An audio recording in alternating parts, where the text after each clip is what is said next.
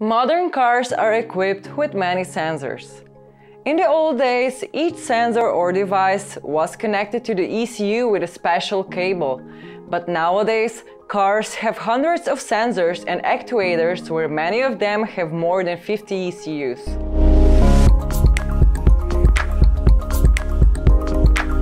If we would keep the old analog connections until today, we would have many kilometers of cables in the car. Therefore, vehicle manufacturers invented a different approach to connect actuators, sensors and ECUs by using a digital transfer protocol over the bus systems. Because of this, many devices are now connected over a single network. Traditionally, CAN bus was used for this purpose. With years, the complexity of vehicles was growing and CAN's 1 megabit speed was simply not enough. So at that time, it was replaced with FlexRay, but a much stronger alternative is a CAN-FD. For simpler and slower devices like power windows, LIN or SENT are used. For the purpose of ECU calibration, XCP or CCP are used directly over Ethernet interface. In the future, new technologies will arise.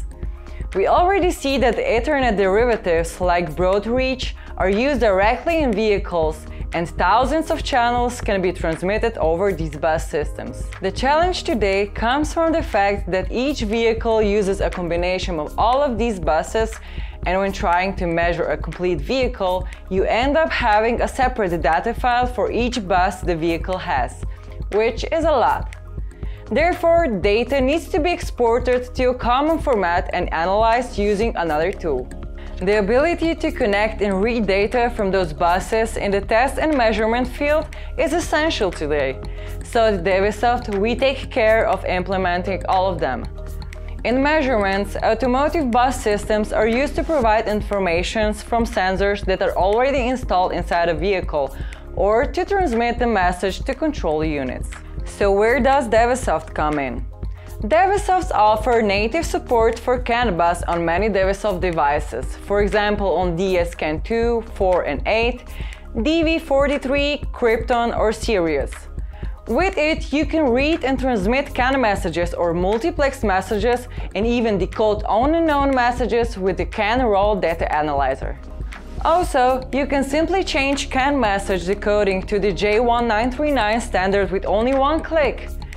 With the use of a Krypton CAN-FD device, you're able to read extended CAN-FD messages.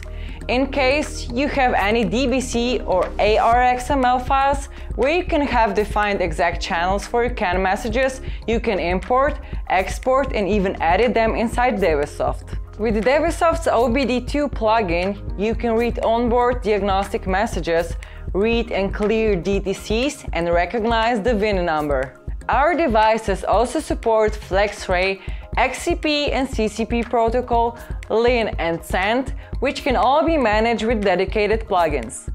With the XCP Master, you can read an unlimited number of channels from other systems or ECUs. The XCP Slave plugin over Ethernet can provide high-speed data for your master systems such as ETAS Inca, Vector CANape, or ATI Vision.